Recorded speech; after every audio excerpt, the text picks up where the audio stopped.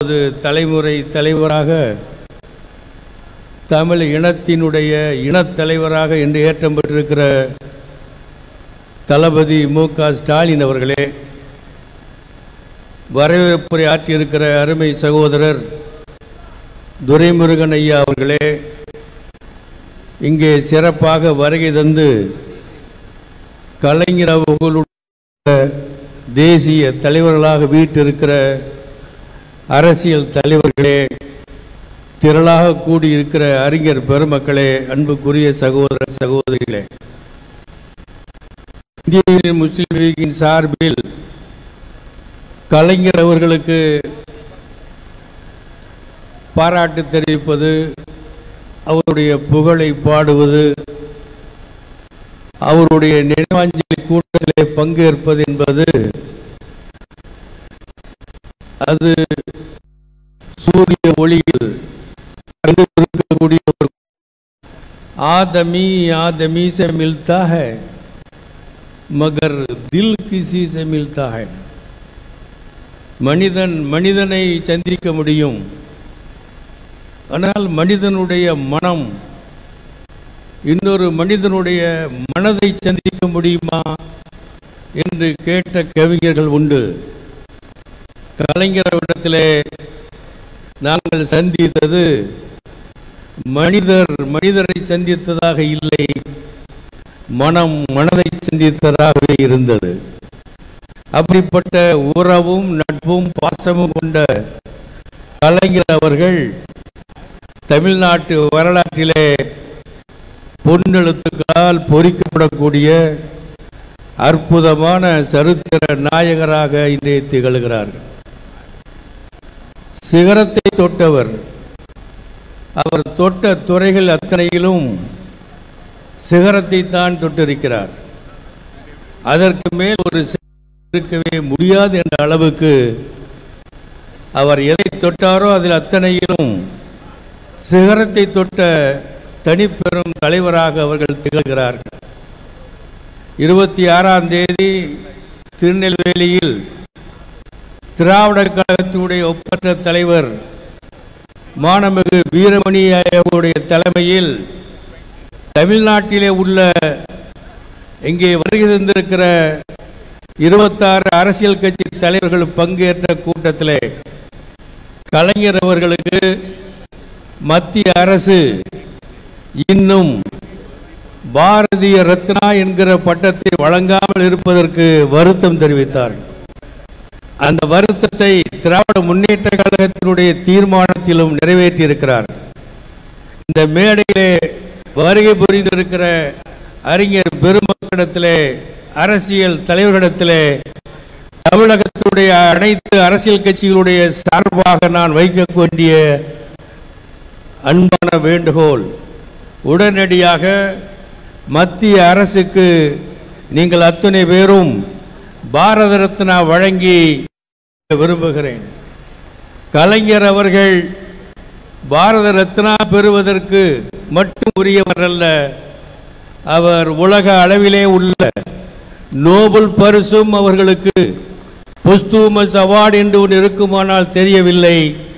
அதையும் வழங்குவதற்கு உள்ள அறிவாற்றலிடத்தில் இருந்தது என்பதை நீங்கள் அவர்களுடைய நூல்களை எல்லாம் எழுத்துக்களை எல்லாம் பேச்சுக்களை எல்லாம் உரைநடிகளை எல்லாம் அரசியல் நிர்வாகத்திலே காட்டிய ஆற்றலை எல்லாம் நீங்கள் பார்த்தால் தெரிந்து கொள்வீர்கள். அதனையும் அறிஞர் பெருமக்களாகிய நீங்கள் செய்ய வேண்டும் என்று உங்களிடத்திலே பணிவான வேண்டுகோளை நான் வைக்கிறேன். பாரத திருநாட்டிலே ஒரு எம்பி இல்லாத மத்தியில் அமைச்சர் இல்லாத ஒரு அரசியல் தலைவருக்கு பாரத நாடே துக்கத்தை அனுசரித்தது. பாரத பிரதமர் அவர்கள் இரண்டு அவையையும் ஒத்தி வைத்து ஒரு நாள் முழுவதும் இரங்கல் தெரிவித்த வரலாறு இந்திய வரலாற்றில் இதுதான் முதல் முறை. அரசு அதற்கு கொடியை இறக்கி ஏழு நாள் துக்கம் அனுசரித்த வரலாறும் இதுதான் முதல் முதலான வரலாறு. இதை செய்த பாரத பிரதமர்களுக்கு தமிழின மக்களின் சார்பாக நான் நன்றியை தெரிவிக்கிறேன்.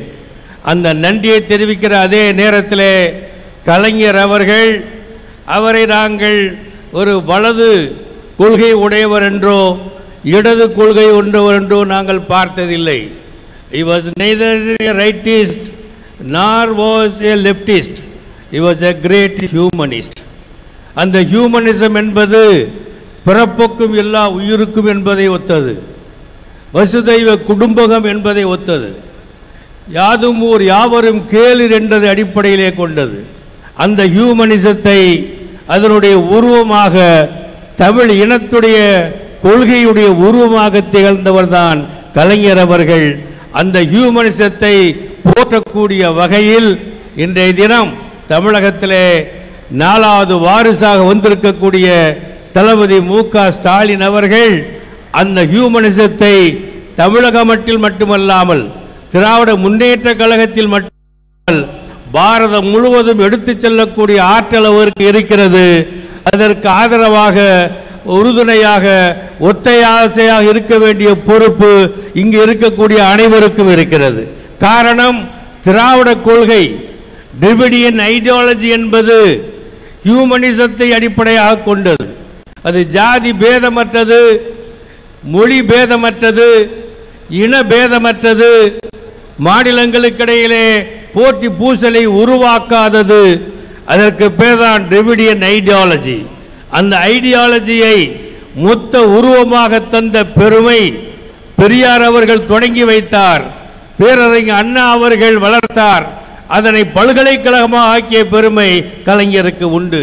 அந்த பல்கலைக்கழகம் திராவிட பாரம்பரியத்தை உருவாக்கிய முழுமைப்படுத்திய பர்ஃபெக்ஷன் ஆக்கிய அந்த முழு மாடல் பெர்ஃபெக்ட் மாடல் கலைஞரவர்கள் என்றால் அந்த மாடலை இன்றைய தினத்திலே இந்தியா முழுவதிலும் எடுத்துச் செல்வதன் மூலம்தான் இந்தியாவுடைய பாரம்பரிய பெருமையை நிலைநிறுத்த முடியும்.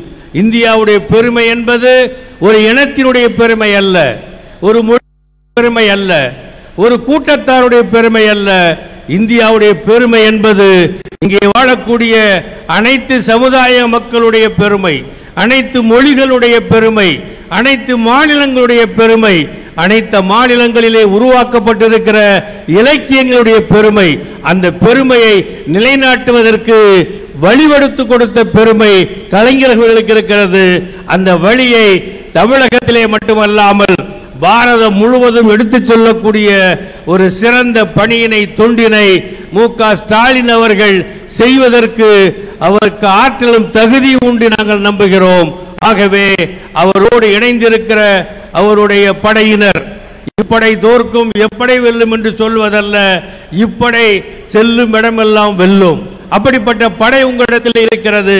அந்த படையை கொண்டு பாரத நாடு முழுவதிலும் இந்த திராவிட கொள்கையை சமதர்ம கொள்கையை நீங்கள் அறிவித்திருக்கிற பகுத்தறிவு கொள்கையை நீங்கள் அறிவித்திருக்கிற சுயமரியாதை கொள்கையை நீங்கள் அறிவித்திருக்கிற சமூக நீதி கொள்கையை நீங்கள் எடுத்து வைத்திருக்கிற சமநீதி சம தர்ம கொள்கையை எடுத்து சொல்லக்கூடிய அந்த கொடியை முழுவதும் பரப்பக்கூடிய ஒரு சிறந்த பணியை நீங்கள் தொடர வேண்டும். அதற்கு நாங்கள் அத்துணை பேரும் துணை நீக்க தயாராக இருக்கும் என்பதை மிக பணிவோடு உங்களுக்கு தெரிவித்து இந்திய முஸ்லீம் முஸ்லிம் லீக்குடைய மறைந்த தலைவர் இ. அகமது சாஹிப் அவர்களோடு கலைஞரிடத்திலே சென்று நாங்கள் பேசிக் கொண்டிருந்தோம். அப்பொழுது அகமது சாப் சொன்னார்கள் கலைஞர் அவர்களே we shall sail together or sink together என்று சொன்னார். பழமொழியை சொன்னார். கலைஞர் சொன்னார்கள் Ahmad we shall sail together we need not sink together let us sing together let us sing together நாம் ஒன்றாக பயணிப்போம் தோல்வி கண்டால் ஒன்றாக கீழே போவோம் என்று அகமது சாப் சொன்னார் கலைஞர் சொன்னார் Ahmed they need not we can sail together but need not sing together let us sing together என்று வெற்றியை பாடிக்கொண்டு நாட்டிலே முன்னேறுவோம் என்று சொன்னவர் தான் கலைஞர் அந்த வெற்றியை பாடக்கூடிய கூட்டமாக இது மாற வேண்டும். இந்திய பாரம்பரிய பண்பாடு திளைப்பதற்கு கலைஞர் சொன்ன அந்த வெற்றி பாடலை நாடு முழுவதும் பாடக்கூடிய ஒரு ஆற்றலை இந்த அவையிலே உள்ள அனைவரும் ஒன்று சேர்ந்து செய்ய வேண்டும் என்ற பணிவான வேண்டுகோளை வைத்து கலைஞர் அவர்களுடைய புகழ் என்றென்றும் வாழும் என்பதை தெரிவித்து அவர்கள் இறுதியாக சொல்லியிருக்கிறார்கள் மனிதன் எவ்வளவு காலம் வாழ்ந்தான் என்பதை பிறந்த நாளிலிருந்து கணக்கிடுவது சரி கிடையாது. ஒரு மனிதன் எவ்வளவு காலம் உலகத்திலே வாழுகிறான் என்பதை இறந்த நாளிலிருந்து தான் கணக்கிட வேண்டும் என்று சொன்னார். கலைஞர் அவர்கள் இறந்த நாளிலிருந்து பார்க்கிறோம். கல்லறையும் கவி பாடுகிறது. கலைஞர் என்ற சொல் மந்திர சொல்லாக மாறிக்கொண்டிருக்கிறது. அவர் பயன்படுத்திய உடன்பிறப்பே என்று செத்து கிடந்த பெண்களை கூட எழுப்பக்கூடிய ஆற்றல் பெற்ற சொல்லாக இன்று மாறிக்கொண்டிருக்கிறது. அந்த கலைஞரை கோடான கோடி இளைஞர்கள் கோடான கோடி மகளிர் இன்று பாராட்டி போற்றக்கூடியவா இருக்கிறார்கள். இதையெல்லாம் கலைஞர் செய்தார் என்று உணரக்கூடிய அளவுக்கு அவர் இறந்த நாளிலிருந்து அவருடைய பேரும் புகழும் இமாலய உச்சியை கடந்து விண்ணை நோக்கி இருக்கிறது மண்ணிலே வாழ்ந்த அந்த மகா பெரிய மா மனிதர் என்றென்றும் விண்ணில் புகழ் படைத்தார் வாழ்வார். அவர் எண்ணிலும் வாழ்வார் உங்களிலும் வாழ்வார். இந்திய மண்ணிலே எப்பொழுதும் வாழ்வார். எல்லோருடைய இதயத்திலும் வாழ்வார் இலக்கியத்திலே வாழ்வார் சரித்திரத்திலே வாழ்வார். இந்திய மக்கள் அனைவருடைய உயிரிலும் கலந்து வாழ்வார் என்று தெரிவித்து அவர் புகழ் என்றும் வாழ்க ஓங்கு என்று நிறைத்து நன்றி தெரிவித்து நிறைவு செய்கிறேன். நன்றி வணக்கம்.